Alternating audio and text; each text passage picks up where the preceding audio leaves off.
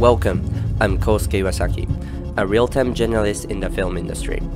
Transitioning from a traditional 3D pipeline to real-time cinematics was a challenge I faced, and I've designed this comprehensive course to help you avoid the same hurdles. We'll create a cinematic shot from scratch using Unreal Engine, covering everything from blocking and kitbash modeling to material systems, effects, character animation, and sequencer workflow.